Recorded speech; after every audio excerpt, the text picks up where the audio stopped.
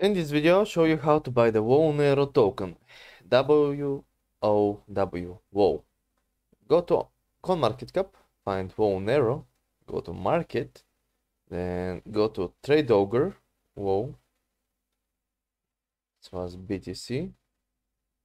And here, you can buy it pretty simply, just by typing um, the amount of BTC you want to, or this for selling, sorry, to spend how much WoW that would get you. Of course, you have to turn it into like past, way past decimal point if you want to buy fewer.